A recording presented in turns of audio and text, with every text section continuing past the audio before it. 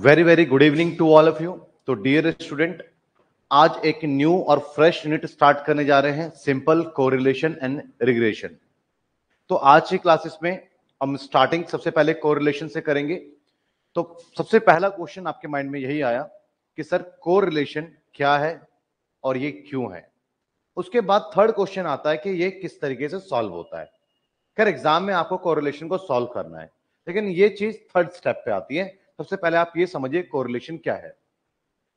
Correlation को समझने से पहले आपको रिलेशन को समझना होगा कि रिलेशन क्या होता है। ज़ाहिर सी बात है, आपके भी बहुत सारे रिलेशन होंगे। आपकी फैमिली है फादर के साथ में मदर के साथ में ब्रदर के साथ में, और दूर के भी रिलेशन आपके साथ में होंगे।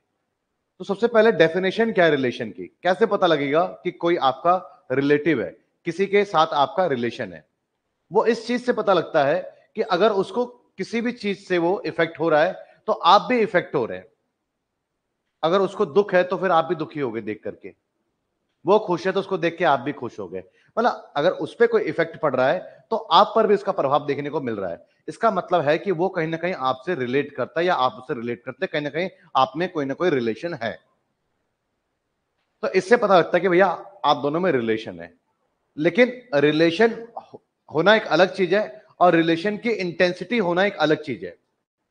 जैसे कि कोई दूर दराज में गाँव में या फिर चचेरे में या फिर आ, जो है दादा के भाई बहन में और रिलेटिव्स में कोई एक है जो किसी वजह से आ,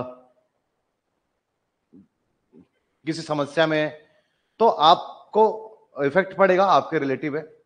लेकिन अगर आपके परिवार में से पापा मम्मी भाई बहन में से ही मा, कोई मान लो ऐसे किसी भी प्रॉब्लम में तो आपको उससे ज़्यादा प्रभाव पड़ेगा। तो रिलेशन उससे भी है इनसे भी है लेकिन रिलेशन की इंटेंसिटी डिफर है। तो इसलिए कोर रिलेशन भी क्या है कि जो डेटा है यहाँ तो मैं एक रिलेशन की बात कर रहा था लेकिन जो डेटा भी इसी तरीके से क्या होते हैं कि एक डेटा पे कोई इफ़ेक्ट पड़ता है तो इसका इंपैक्ट दूसरे डेटा पर भी देखने को मिलता है। फॉर एग्ज़ाम्पल अगर प्राइस इंक्रीज हो रहा होगा तो जो प्राइस का जो डेटा है उसमें चेंज आ रहा है तो आप देखेंगे डिमांड डिक्रीज हो रहा होगा। आप इस बात को समझिएगा। एग्ज़ाम्पल ले लेते हैं रिलेशन का। तो डेटा में भी रिलेशन पाया जाता है और रिलेशन किस तरीके का पाया जाता है उस बात को समझिएगा।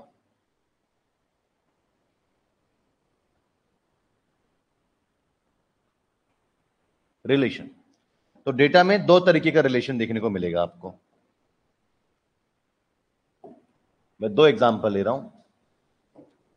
एक बच्चे लाइक मान लीजिए प्राइस है। प्राइस है एंड डिमांड है। तो प्राइस दस रुपए, बारह रुपए, चौदह रुपए, सोलह रुपए और डिमांड जो है आपका, वो सौ, कम हो रहा है, नब्बे, अस्सी, सत्तर तो प्राइस जो है, आप देख पा रहे हैं कि वो इंक्रीज हो रहा है। तो इसका इफ़ेक्ट आपको जो है डेटा पर भी देखने को मिल रहा है कि डेटा आपका जो है, वो डिक्रीज हो रहा है। 90 यूनिट्स 80 यूनिट्स और 70 यूनिट्स तो यहाँ पर आप इस बात को देख रहे हैं कि दोनों डेटा एक दूसरे से रिलेटेड है।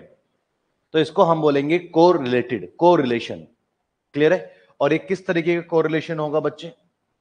ये कोरिलेशन आपका, अगर एक आपका क्या हो रहा है, एक अगर आपका बढ़ रहा है तो दूसरा उसके अपोजिट डायरेक्शन में मूव हो रहा है। तो इसको हम बोलते हैं नेगेटिव नेगेटिव रिलेशन या नेगेटिव कोरिलेशन एक तो आपको नेगेटिव रिलेशन इसे कहते हैं। इसमें आपका जो रिज़ल्ट ऑलवेज आपका जो आंसर है वो आपका कैसा रहने वाला है? नेगेटिव आपका जो है आंसर रहने वाला है। और एक आपका होता है, एक एग्जांपल लेते हैं लाइक प्राइस का और सप्लाई का। प्राइस आपका दस रुपए, बारह रुपए, चौदह रुपए। तो दस रुपए पे आपका हंड्रेड यूनिट्स की आप सप्लाई कर रहे हैं।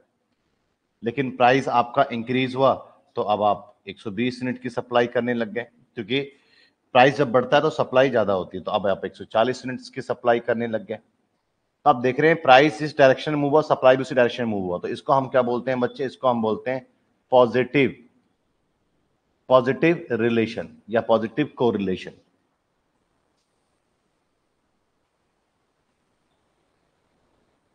तो बेसिकली रिलेशन कितने तरीके के आपके होते हैं? दो तरीके के नेगेटिव और पॉजिटिव अब आपको इस चैप्टर में हमें डेटा के बीच में रिलेशन को फाइंड आउट करना पड़ेगा कि रिलेशन कैसा है। या रिलेशन है भी या नहीं है? तो हमें यहाँ पर रिलेशन को फाइंड करना है। और रिलेशन दो तरीके के होंगे, या तो पॉजिटिव या तो नेगेटिव और रिलेशन की इंटेंसिटी को भी चेक करना है कि रिलेशन कितना ज़्यादा आपस में हाई डिग्री है मतलब कितना क्लोज रिलेटेड है। जब एक डेटा जिस, जितना मूव हो रहा है, उसमें जैसा इफ़ेक्ट पड़ रहा है दूसरे में भी वैसा ही इफ़ेक्ट देखने को मिल रहा है तो मतलब काफ़ी ज़्यादा रिलेटेड है। आपने जुड़वा मूवी देखी होगी, एक को जैसे जहाँ चोट लगा, दूसरा वैसे फील करता है। तो मतलब बहुत ज़्यादा क्या है, ये आपस में रिलेटेड है। तो एक डेटा में जैसा चेंज आ रहा है सेम प्रोपोर्शनेट दूसरे डेटा पर भी देखने को मिल रहा है तो कहीं ना कहीं हाई डिग्री ऑफ़ कोरिलेशन इसको कहते हैं। और कई बार होता है डेटा में चेंज आ रहा है, दूसरे पे आ रहा है बट उतना नहीं आ रहा, अपने हिसाब से थोड़ा बहुत आ रहा है तो आ रहा है। उसे हम लो डिग्री ऑफ़ कोरिलेशन कहते हैं। और एक डेटा में चेंज आया, दूसरे में कोई फ़र्क ही नहीं पड़ा तो उसको हम नो कोरिलेशन बोलते हैं। इन सब बातों को समझेंगे धीरे धीरे फ़िलहाल आप कोरिलेशन का मतलब समझ में आ गया आपको कि एक डेटा में जो चेंज आता है, इसका इफ़ेक्ट दूसरे डेटा पर भी पड़ता है। इसका मतलब है दोनों डेटा एक दूसरे से कोरिलेटेड है और ये दो तरीके के रिलेशन होते हैं पॉजिटिव रिलेशन और एक होता है आपका नेगेटिव रिलेशन अब रिलेशन की बात तो हो गई है, अब इनकी इंटेंसिटी की बात करेंगे तो उसको डिग्री ऑफ़ रिलेशन कहते हैं, जो हाई डिग्री ठीक है ना, और मॉडरेट या फिर लो डिग्री ऑफ़ कोरिलेशन हो सकता है। कैसा होता है मैं आपको बता देता हूँ। Methods of studying the correlation methods कितने हैं? बेसिकली तीन मेथड्स हैं। एक स्केटर डायग्राम मेथड है, एक कार्ल पियर्सन मेथड है, एक रैंक कोरिलेशन मेथड है। तो पहले आज की क्लास में हम स्केटर डायग्राम को समझ लेते हैं कि स्केटर डायग्राम क्या है। अगर आपके पास में बच्चे देखिएगा, दो आप इस कोरिलेशन में आप देखेंगे तो आपके पास में दो सीरीज़ गिवन होगी। इस बात को समझिए आप कि आपके पास में क्या होगा? आपके पास में दो सीरीज़ गिवन होंगी। तो एक सीरीज़ का आप अपने जो है एक्स एक्सिस पे रख लीजिए, दूसरी सीरीज़ को वाई एक्सिस पे रख लीजिए, और आप क्या करें? आप एक ग्राफ बना ले। मैं भी ग्राफ बना के भी दिखाऊँगा आपको। एक ग्राफ बना ले।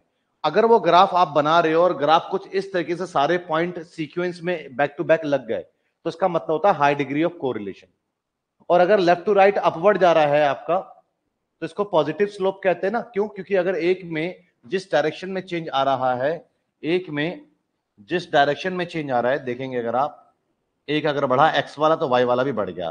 तो लेफ़्ट टू राइट अपवर्ड को बोलते हैं पॉजिटिव कोरिलेशन तो परफेक्ट है ये। सीक्वेंस में है बैक टू बैक है। इसको बोलेंगे परफेक्ट पॉजिटिव कोरिलेशन और अगर सेम प्रोसेस है बट वो स्लोप उसका डाउनवर्ड है तो इसको परफेक्ट नेगेटिव कोरिलेशन बोलेंगे, क्योंकि नेगेटिव स्लोप है। इस सिचुएशन में अगर एक बढ़ेगा, दूसरा क्या हो रहा है? कम हो रहा है। बट एक में 20 परसेंट का इंक्रीमेंट आया तो दूसरे में भी 20 परसेंट का जो है वो वो डिक्रीज हो गया। तो जैसा इसमें चेंज आया, वैसा इसमें चेंज आया, बस इनवर्स चेंज आया तो बस वो नेगेटिव आपका कोरिलेशन हो गया बट परफेक्ट है। जैसा चेंज इसमें, वैसा चेंज दूसरे सीरीज़ में भी देखने को मिल रहा है।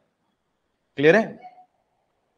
और इसको लो डिग्री ऑफ़ पॉजिटिव भाई स्लोप पॉजिटिव तो पॉजिटिव कोरिलेशन स्लोप नेगेटिव तो नेगेटिव कोरिलेशन स्लोप पॉजिटिव तो पॉजिटिव कोरिलेशन स्लोप नेगेटिव है तो नेगेटिव कोरिलेशन जब आपका कोई लाइन ही ड्रॉ ना हो तो नो कोरिलेशन जब कोई लाइन ही ड्रॉ ना हो, कोई स्ट्रेट लाइन ही ड्रॉ ना हो तो कोरिलेशन और इसको हम क्या बोलेंगे?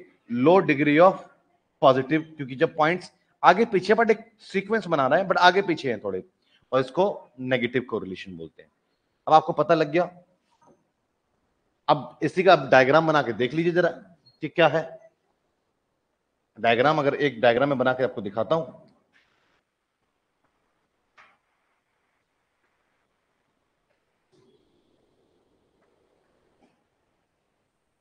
ये स्केटर डायग्राम है आपका। दो एक्सिस लेना है आपको।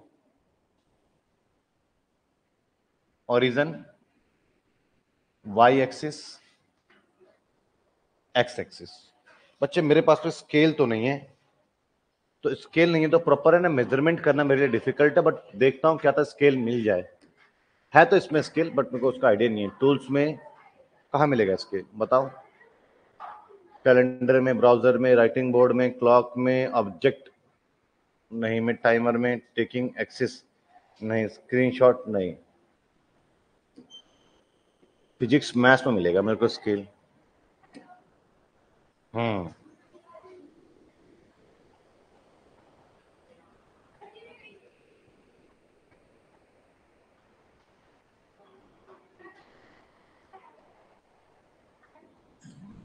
इक्वल मेज़रमेंट ले लेते हैं।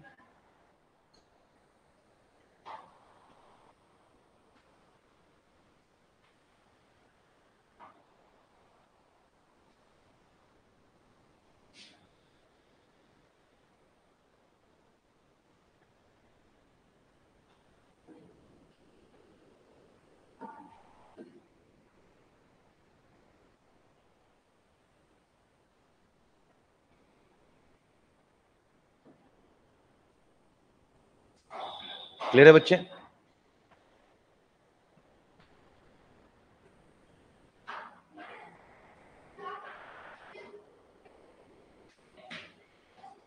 डायग्राम प्रॉपर बनेगा फिर आपका।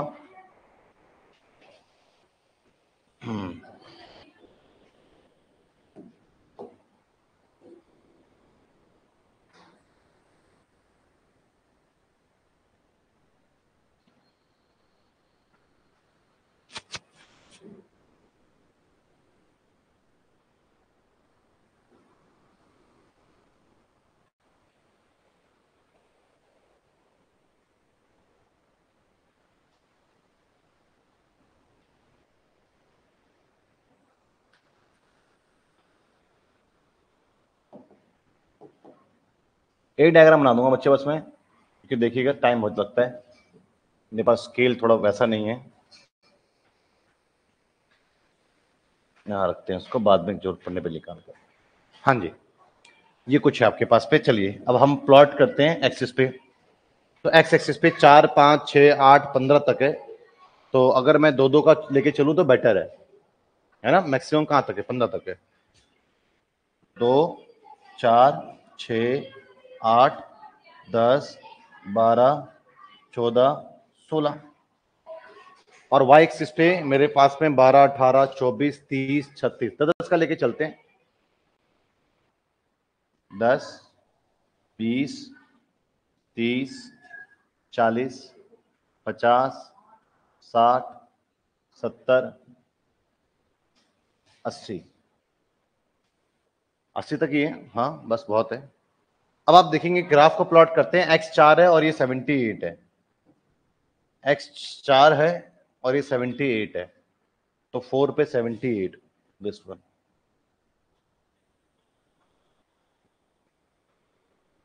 अच्छा जी।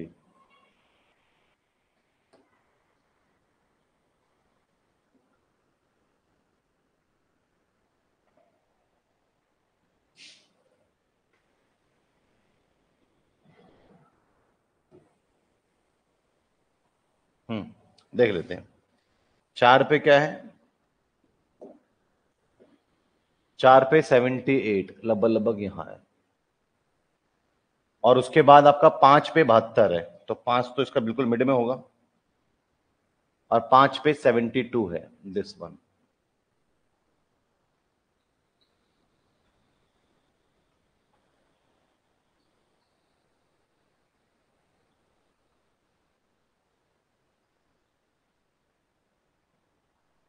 एक, दो, तीन, चार, पाँच छ सात, आठ,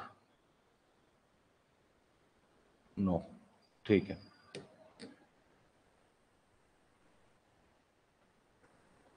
पाँच पे क्या सेवेंटी टू है? तो पाँच पे सेवेंटी टू तो पाँच आपका ये रहा, सेवेंटी टू। और छ पे सिक्सटी सिक्स तो छ ये रहा, और sixty six. So sixty six, sixty five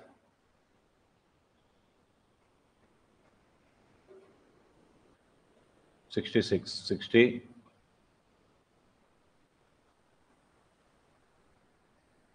और आपके पास में सात पे साठ। सात पे साठ। आठ पे चौवन। आठ पे चौवन। पचास से थोड़ा सा ज़्यादा। दिस वन और नौ पे अड़तालीस। नौ यहाँ पे होगा आपका और अड़तालीस। पचास से दस नीचे। और आपका दस पे बयालीस। दस पे बयालीस तो चालीस थोड़ा सा बस इससे ऊपर। दस पे बयालीस। और उसके बाद ग्यारह पे छत्तीस। ग्यारह ये बीच में हो गया। और इस पे छत्तीस तो चालीस से नीचे पाँच और ये छत्तीस। और आपके पास में यहाँ पे रहेगा। बारह पे तीस, बारह पे तीस बारह पे तीस तीस। तेरह पे चौबीस, बीच में आ जाइए। हम्म। तेरह पे चौबीस। और चौदह पे अठारह। चौदह पे अठारह। दिस वन और आपका पंद्रह पर बारह। पंद्रह पे बारह। पॉइंट इन पॉइंटों को देखें जरा कि पॉइंट हैं कैसे। ध्यान से देखिए इन पॉइंट को। ये पॉइंट ये पॉइंट क्या सीक्वेंस में फॉलो हो रहे हैं? बिल्कुल हो रहे हैं। तो ये क्या है? हाई डिग्री ऑफ़ कोरिलेशन है। और आप देखेंगे स्लोप क्या है? डाउनवर्ड स्लोप है ना? तो इसको हम क्या बोलेंगे? High degree of negative correlation क्या बोलेंगे इसको हम? इसको हम बोलेंगे high degree of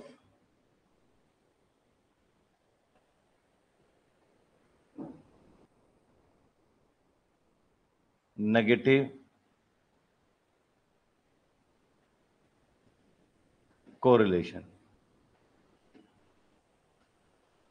clear है बच्चे? समझ में आया आपको? तो उम्मीद करता हूँ आपको ये सवाल समझ में आ गया होगा। आप ड्रॉ द स्केटर डायग्राम ये आपके ऊपर काम है, आपका टास्क है, या आप करेंगे। मैं बात करता हूँ कोवेरियंस की। अब आपके मन में सवाल आया होगा, सर कोरिलेशन में तो हमें एक्स एक सीरीज़ एक वाई सीरीज़ दिया हुआ होगा। दोनों को डायग्राम के थ्रू भी हम समझ सकते हैं कि रिलेशन कैसा है पॉजिटिव है नेगेटिव है हाई डिग्री है लो डिग्री है फिर नो को रिलेशन है। लेकिन ये कोवेरियंस क्या होता है? बच्चे, जैसे कि को रिलेशन दो बातें बताता है। एक तो रिलेशन कैसा है? पॉजिटिव नेगेटिव या रिलेशन नहीं है, वो भी बात बता देगा। उसके बाद को रिलेशन को भी हम आगे करेंगे। अभी तो सिर्फ़ स्केटर डायग्राम हुआ है। लेकिन को रिलेशन इस चीज़ को बता दे, बताता है कि रिलेशन की इंटेंसिटी क्या है। मतलब डिग्री ऑफ़ रिलेशन क्या है? ये भी को रिलेशन बताता है। लेकिन को वेरियंस का सिर्फ़ यूज़ एक ही चीज़ के लिए कि भैया इनमें रिलेशन है या नहीं है और है तो कैसा है पॉजिटिव या नेगेटिव बस इस बात की जानकारी आपको वेरियंस से मिलती है और वेरियंस से किसी बात की कोई जानकारी आपको नहीं मिलती है। क्लियर है? लेकिन वेरियंस से आपको रिलेशन का पता लग जाता है, भाई कैसा रिलेशन है पॉजिटिव या नेगेटिव या नहीं है रिलेशन ठीक है? तो आइए वेरियंस के बेसिकली दो तरीके, तीन मेथड्स अलग अलग मेथड्स करेंगे। एक तो आपके पास में समीशन एक्स वाई अपॉन में एन को वेरियंस एक्स और वाई अब ये क्या है? पहली चीज़। तो आइए एक एक को सवाल के थ्रू करके देखेंगे, तभी आप बेटर समझ पाएँगे। बात कर रहा हूँ पहली चीज़ की। कोवेरियंस एक्स वाई क्या आपके पास में sigma X Y upon N जैसे ये क्वेश्चन है। तो एक काम करा करें, मैं कोवेरियंस निकालने के लिए बात कर रहा हूँ। Covariance X and Y covariance X and Y sigma X into Y upon N this one अब ये क्या है? इस बात को समझते हैं। तो सबसे पहले एक काम करेंगे आप क्या? तो इस टेबल को थोड़ा सा मैं बढ़ा देता हूँ।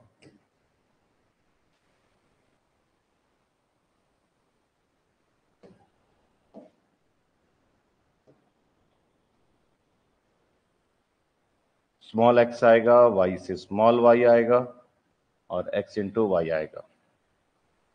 This one small X for small Y और एक्स इंटू वाई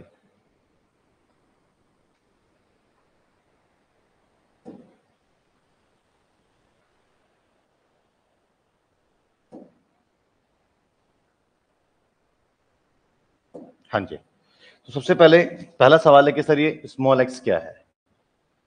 पहला सवाल है कि सर ये स्मॉल एक्स क्या है? तो आप क्या करो एक्स में से इस एक्स सीरीज़ का मीन माइनस कर दो। तो जो रिज़ल्ट आएगा उसको हम क्या बोलते हैं? स्मॉल एक्स बोलते हैं। अब पहले एक्स का मीन क्या होगा?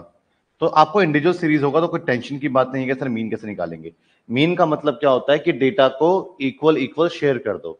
जैसे कि मान लो कि रिश्तेदार, आपके घर में तीन बच्चे हैं तो रिश्तेदार एक को दस रुपए दे चला गया, एक को बीस रुपए दे चला गया और एक के हाथ में तीस रुपए दे के चला गया। उनके रहने तक तो घर में शांति थी, जाते ही इनमें लड़ाइयाँ चालू हो गई है कि भैया मैं लूँगा मैं लूँगा मैं लूँगा। मुझे कम, मुझे ज़्यादा। तो इस स्थिति में क्या हुआ? आपने एज अ पेरेंट्स उन बच्चों से पैसे को कलेक्ट कर लिया। बोला, लाओ, मुझे दो, तुम ऐसे आपस में लड़ते रहोगे। और तीन बच्चों में बांट दिया, और सब में बराबर बराबर बांट दिया। आप कह दिया आपने आप कोई नहीं लड़ेगा। तो इसको कहते हैं मीन डेटा को कलेक्ट कर करके और सब में डेटा को इक्वली शेयर करेंगे। तो ईच की शेयरिंग में कितना आएगा पर हेड उसको हम क्या बोलते हैं? जो एवरेज बोलते हैं मीन बोलते हैं।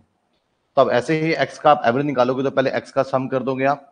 तो सम करोगे आप समीशन ऑफ़ एक्स अपॉन में एन तो X bar equals to summation of X करेंगे अगर आप तो क्या आएगा आपके पास में तीन और चार, सात सात और पाँच, आपका बारह।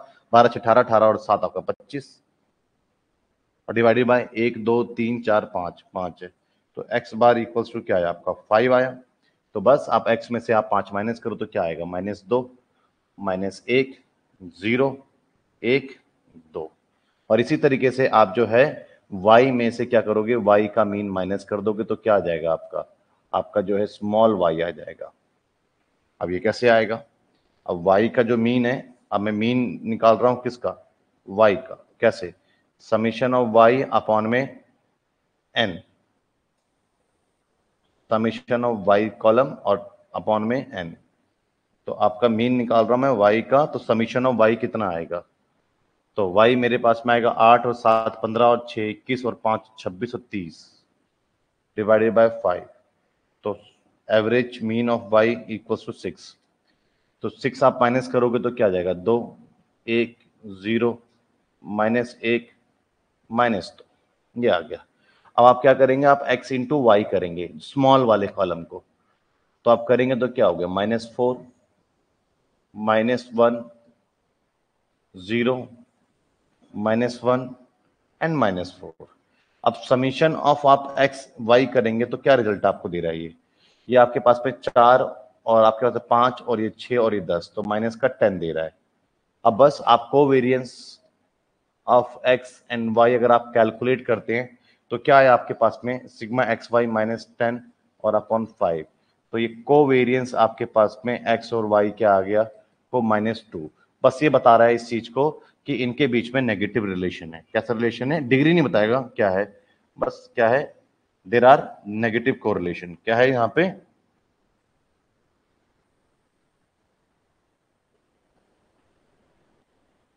There are negative correlation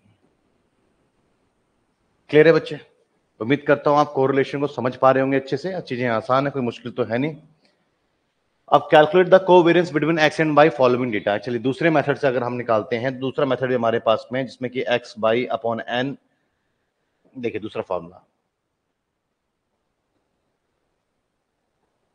वही है, यहाँ पर क्या है मीन की ज़रूरत नहीं है। हम अपने एक्स सीरीज़ और वाई सीरीज़ से ही काम कर लेंगे, जो गिवन सीरीज़ है।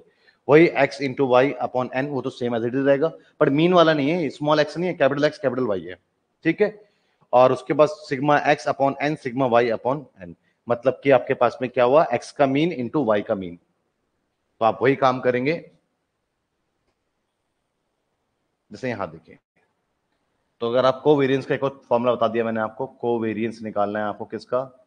एक्स और वाई का। तो कैसे निकालेंगे? Sigma X Y upon N minus X का मीन इंटू वाई का मीन क्लियर है बच्चे? सॉल्व करेंगे तो आइए कॉलम बनाते हैं।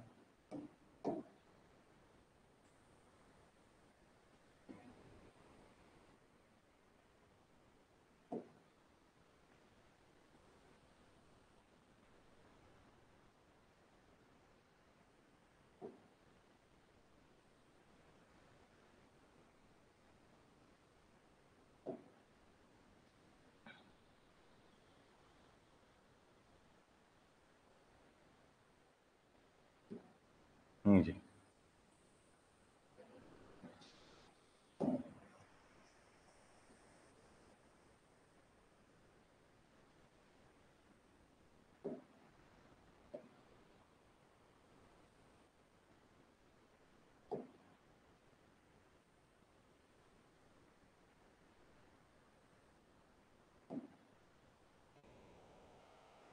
देखिए सॉल्व करेंगे आप बच्चे। तो आपको पहले x और y निकालना है। X और y तो आपके पास में क्या आ गया? सिक्स ये आपके पास में आ गया अट्ठारह आपके पास में आ गया अट्ठारह बच्चे अट्ठाईस। चालीस। तीस। क्लियर है? इक्यानवे। तो नाइन्टी फोर, चौबीस। यहाँ तक क्लियर है या नहीं आपका? ये बताएँ। क्लियर है? कोई डाउट किसी बच्चे को? कोई डाउट है तो किसी बच्चे को बोले मुझे। एक सौ तिरपन।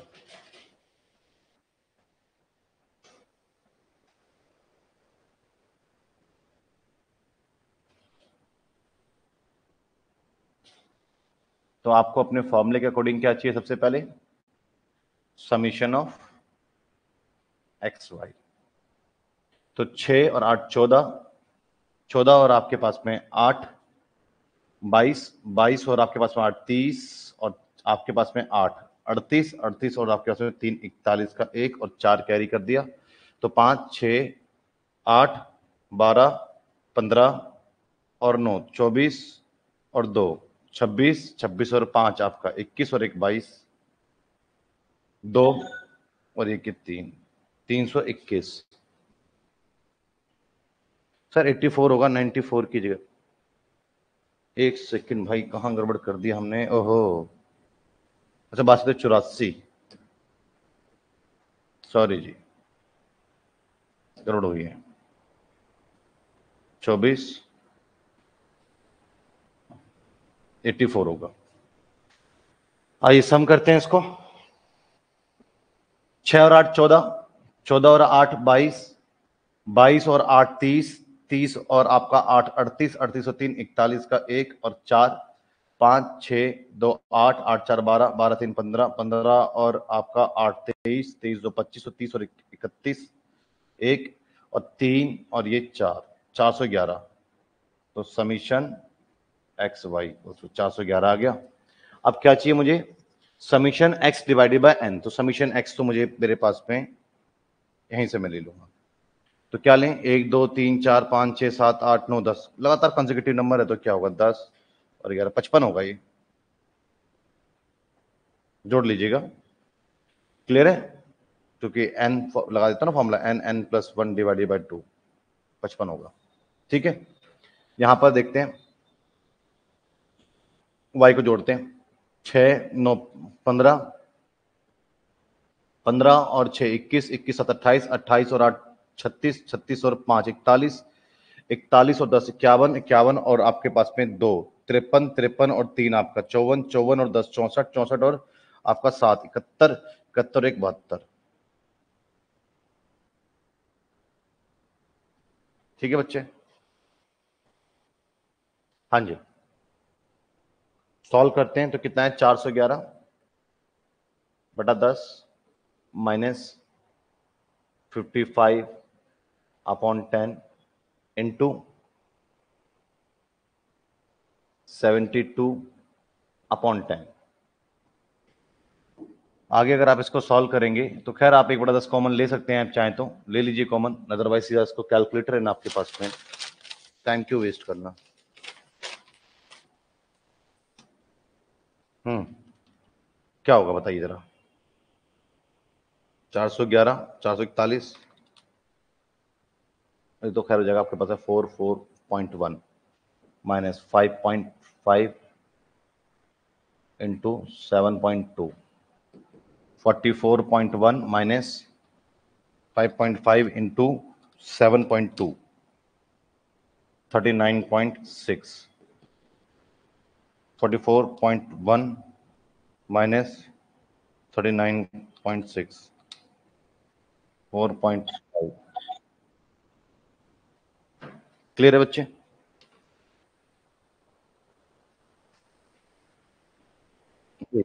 गड़बड़ हो रहा है? सेवेंटी फोर कोई नहीं। सेवन पॉइंट फोर कर देते हैं।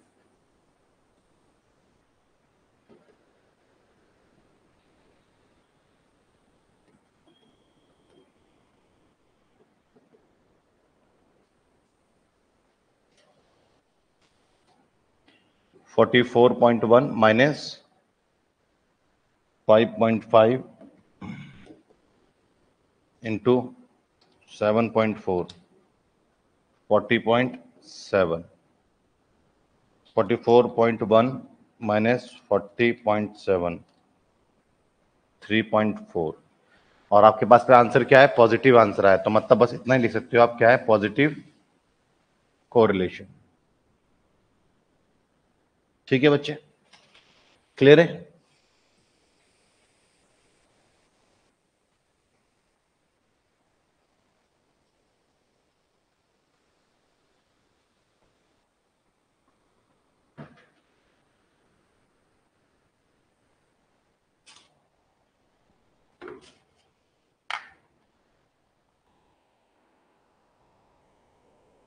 हम्म हम्म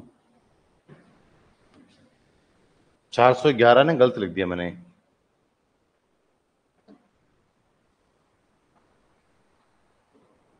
ये होगा। तीन ज़्यादा लिख दिया मैंने।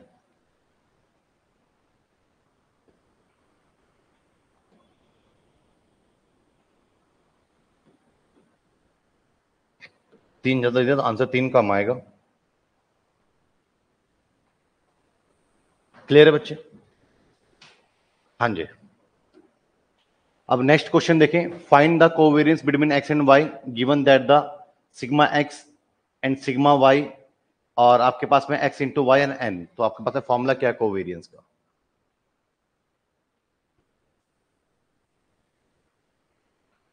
अगर आपको कोवेरियंस निकालना है तो फॉर्मूला आपके पास में sigma X Y upon N minus sigma X upon N into sigma Y upon N ये रहेगा फॉर्मूला तो सिग्मा एक्स और वाई दिया हुआ है आपके पास में पाँच सौ चौहत्तर और एन आपका दस. सिग्मा एक्स आपको दिया हुआ है साठ बटा दस और आपके पास पे सिग्मा वाई दिया हुआ है आपके पास में ninety upon ten simply solve करेंगे fifty seven point four minus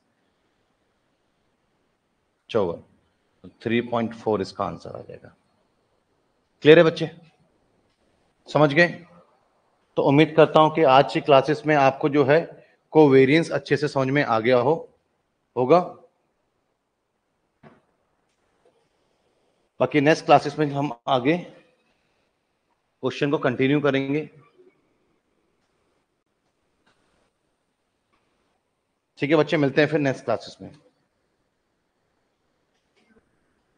ये देखिए, आपका स्केल आपका इंतज़ार कर रहा है, इसको हम हटाते हैं। ठीक है बच्चे?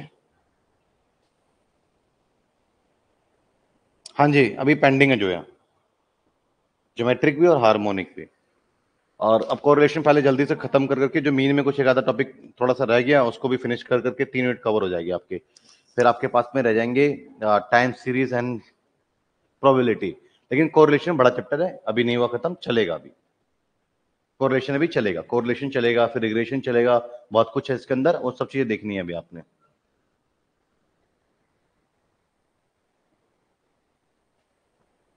मिलते बच्चे नेक्स्ट क्लास में।